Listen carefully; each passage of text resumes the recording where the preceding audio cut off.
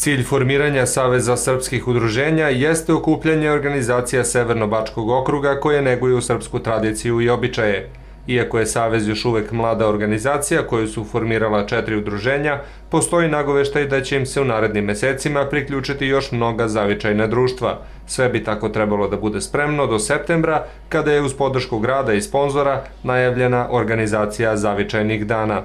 Na obeležavanju Spasovdana gost Saveza srpskih udruženja bio je Arno Gujon, humanitarac iz Francuske, koji je čitavu Srbiju zadivio svojom predanošću, humanošću i borbom za istinu. Naš specijalni gost iz Francuske je čovek koji je zaista e, zadužio srpski narod i koji je pružao veliku pomoć srpskom narodu i nama je velika čast da je on danas ovde s nama i smatramo da bi bilo mnogo bolje ili bilo bi dobro kada bi u narednom vremenskom periodu značajan broj ljudi e, iz inostranstva se e, išao, ka, odnosno značajan broj ljudi iz inostranstva pomogao srpskom narodu posebno sad nakon ove tragedije koja, se, koja nas je sve zadesila. Arno Gujon iz Grenobla od svoje 18. godine bori se za istinu o Srbima na Kosovu i Metohiji.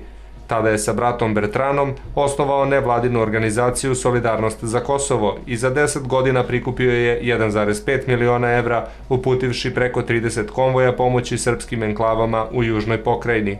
Osim toga, Gujon održava tradiciju francusko-srpskog prijateljstva, povezujući 8000 donatora iz Francuske koji pomažu srpskom narodu.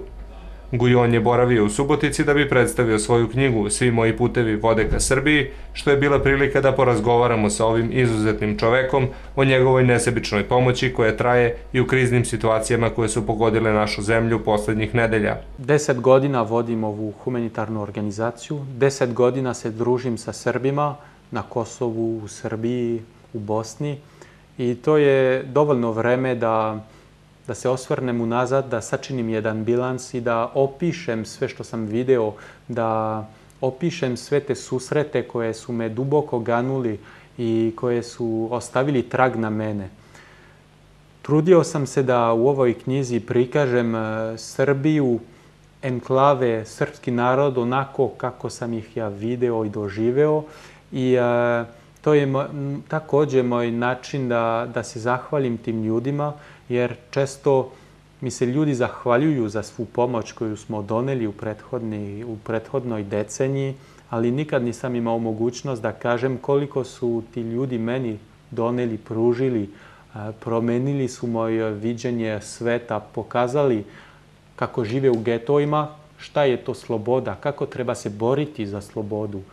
Oni su mi pokazali pravi značaj davanja, jer kad idemo dole, oni uvek žele da nas lepo prime, da nam daju ono malo što imaju.